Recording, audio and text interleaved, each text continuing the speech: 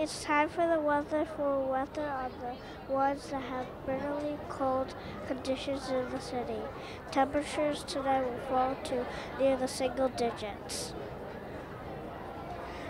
The reason for the Arctic air is the vortex, which is mass of extremely cold air, has moved hundreds of miles south from its north position near the South Pole.